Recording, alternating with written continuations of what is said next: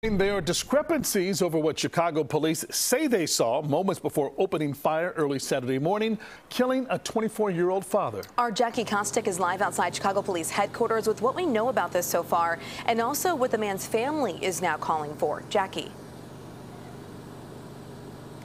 Ryan and Audrina, good morning. The lawyer representing the family of Reginald Clay Jr. says a lawsuit could be filed in this case as early as today. Now, he and the family and others came out to Chicago police headquarters yesterday to call for transparency in this case. Now, discrepancies are coming to light between what Chicago police say happened Saturday morning in Lawndale and what the Police Oversight Board, COPA, says happened, specifically around the question of what police saw in the seconds before firing the shots that killed 24 year old uh, Reginald Clay Jr. Police say Clay turned toward the officer with a gun.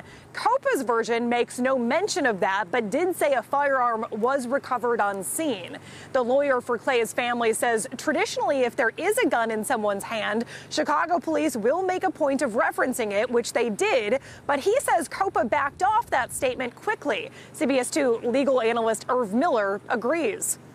The problem is if there is no corroboration, if it's if it's an open question mark as to whether or not the gun was in his hand, was in his pocket, was on the ground, that makes it tough for a prosecutor to decide whether or not this was a justifiable shooting.